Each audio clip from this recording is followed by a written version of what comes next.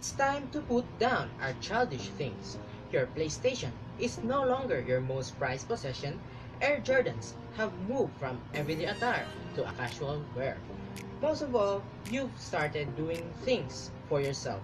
That's mean you require a list of necessities, and that's where I come in. We've done the legwork, some items you might have already and others might be on your wish list. But here's the rundowns of everything a man like you needs. Here are the 10 things every man should own. Number 1. A book collection. Make no mistake, a book collection does not kick off the list by accident. Reading is the crowning workout for your mind. It boosts your intelligence, improves memory function, makes you more empathetic, and helps you relax. Number 2. A sports jacket. A sports jacket or a blazer can appear just about any outfit, whether you're wearing a t-shirt and jeans or a dress shirt and pants. A sports jacket will stamp some maturity on it. Number 3. A nice watch. Yes, you can check the time on your cell phone or your tablet or your laptop or the positioning of the sun. But a nice watch says a lot about your taste. Consider it as the grandfather of all accessories. Number 4. A pair of sunglasses. Find a pair that complements your face. Aviators and wayfarers are the safe bets if you're looking to add a little flair. Number 5. Cologne. Well, here's something you already know. Women like men who smells good. If you're just starting out picking a fragrance, find one scent you like, then build on that. Just don't bait on it. Spray a little on your chest and the base of your throat. Number 6. A recipe book.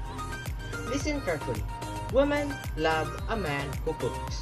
Whether it is a do-it-yourself date night dinner or you've got the choice of either cooking or ordering Chinese. It's time you learn to fend for yourself. Number 7.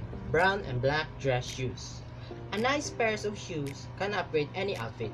If you're going to choose one, go with a brown pair that you can mix with any color or any look. In terms of style, an Oxford loafer is like the universal shoe for your wardrobe that works in jeans, khakis, and slacks. Number 8. A wallet. We're too old now to just show things in our pocket. Just remember that it isn't your father's giant bulging leather wallet that protrudes from this back pocket. Go for a thinner version or use a simple card holder. Number 9. A tailored suit. As a matter of both utility and principle, every man needs at least one suit in his closet. But do it right and make sure that the suit is tailored to fit your body and show off the hard work you've done. Go for a neutral color like navy, gray, or black. And number 10, a leather jacket. One word, attitude. And that's all for today.